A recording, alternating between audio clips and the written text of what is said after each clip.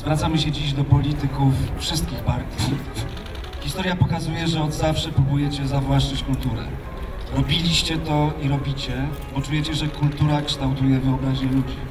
Im bardziej wierzycie, że wasza władza jest jedynie słuszna, tym większą macie pokusę, żeby ustawić konkurs, odwołać kogoś, kto myśli samodzielnie, zamówić przedstawienie na temat, wręczyć nagrodę na przykład Jesteśmy tu po to, aby powstrzymać marsz misiewiczów kultury. Misiewiczom kultury i politykom, którym marzą się role dyrygentów instytucji kulturalnych, nie powiedzieli sami artyści i podczas Kongresu Kultury zaprotestowali przed wejściem do Pałacu Kultury.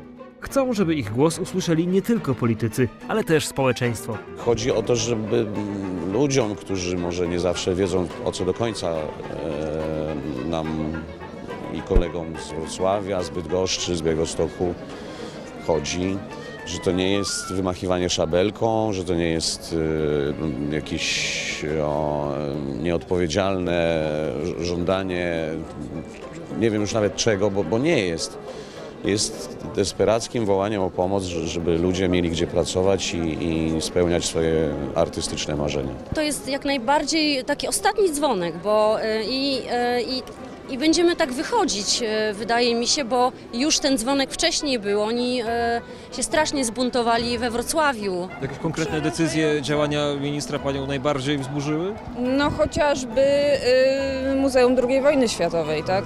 E, to, co tam się wyrabia, próbuje się narzucać tak zwany polski punkt widzenia. E, to jest y, coś po prostu niebywałego. Kompromitują nas na cały świat tak naprawdę. Ale w tym sprzeciwie nie chodzi tylko o los teatrów, muzeów czy oper. Dawno nie miałem takiego poczucia my i oni.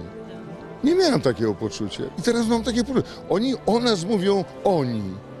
My o nich mówimy oni. A my jesteśmy razem, my jesteśmy jednym społeczeństwem, jednym narodem. Nie uważam, że na cokolwiek jest za późno, wręcz przeciwnie.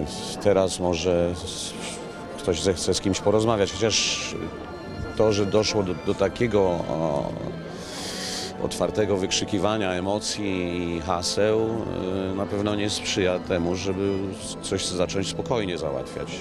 Jonasz Jasnorzewski, Onet.